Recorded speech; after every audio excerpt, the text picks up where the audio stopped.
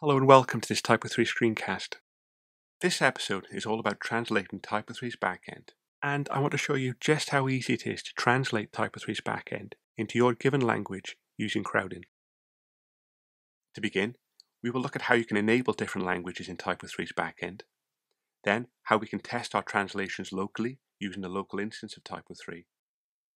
And to finish off, we will look at how to use Crowdin to submit and manage our translations so that they can be used and shared with everyone in the Typo 3 community. To begin with, I need to enable my chosen language in Typo 3's backend. To do this, head over to the Admin Tools module and select Maintenance, followed by Manage Language Packs. Next, I select Add Language and find my alternative language in the list.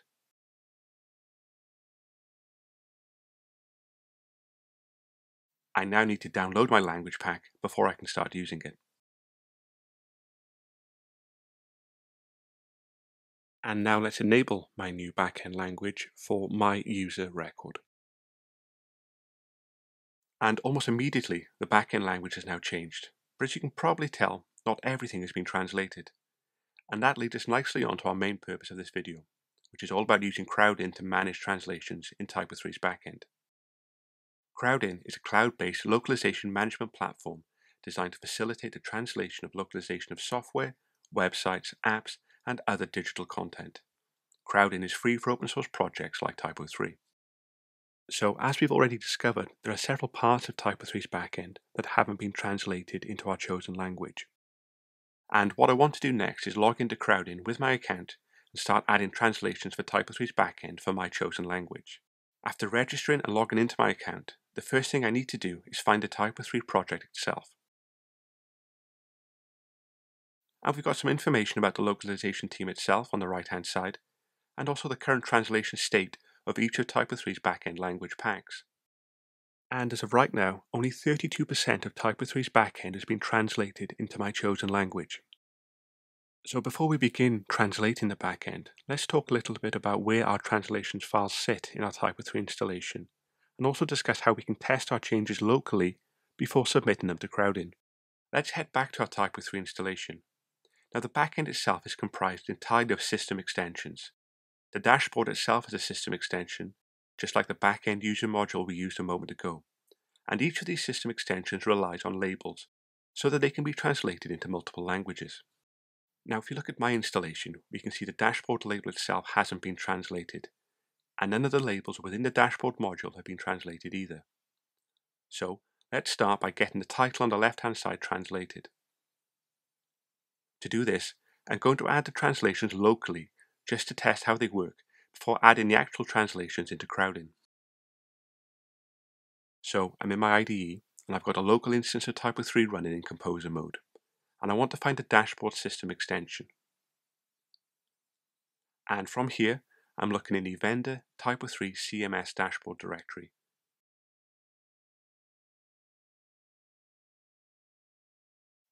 Note that all system extensions have the CMS prefix.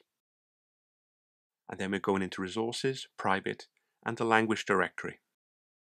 System extensions and community extensions will contain a number of different translation files within them. In this example, my system extension has three translation files. However, it can vary depending on the system extension you're working with.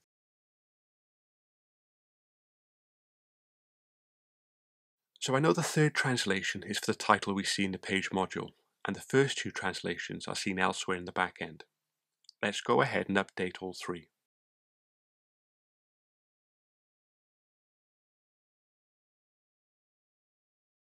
Clear the cache, and we can see that the label for dashboard has been updated in the sidebar. Let's make one more change locally before submitting our actual changes in Crowdin. This time, I'm going to translate the label found within user settings. And it's a string of text that gives the user the option to receive an email every time someone logs in using their account. So, to update this, I'm going to search for the string of text using my IDE. And as you can see, our translation can be found in the local lang XLF file in the CMS setup system extension. So, Let's go ahead and change that and test it locally.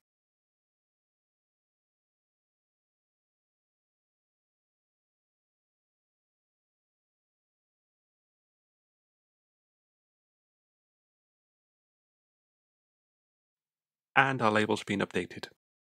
So we've tested our translations locally and we know exactly which files we need to update. So we now need to head back to Crowdin and start submitting our changes. So we have two small translations we want to make.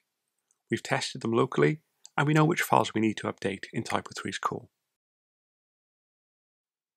Heading back over to Crowdin, I'm going to search for the Typo3 project again and then search for my chosen language. By default, we're always going to work with the main branch for Typo3. If you have a specific translation you'd like to provide for an older version of Typo3, you can select the respective branch, but otherwise, by default, we will always use main. And for the first example, we're looking for the dashboard system extension. Translation files for any extension, be it a system extension or a third-party extension, will always be found in the Resources Private Language directory. And in this example, we will be changing the local lang underscore mod.xlf file.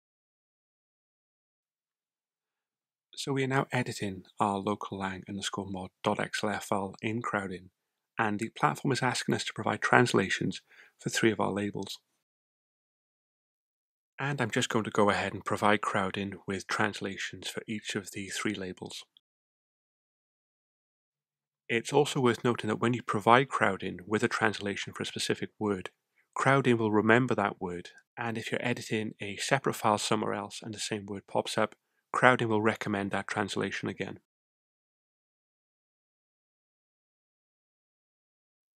So we've added our translations for the dashboard system extension and next I'm going to search for the CMS setup system extension so that we can add our translation for the email notification label.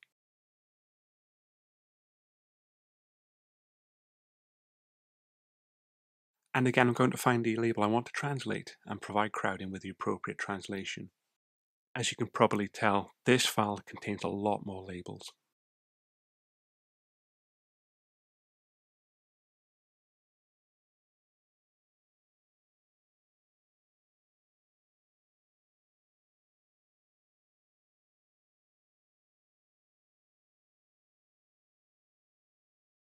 Whilst we've saved our changes in Crowdin, they still need to be approved by somebody in the localization team. In total, there are three steps required to get your changes approved and published in Crowdin.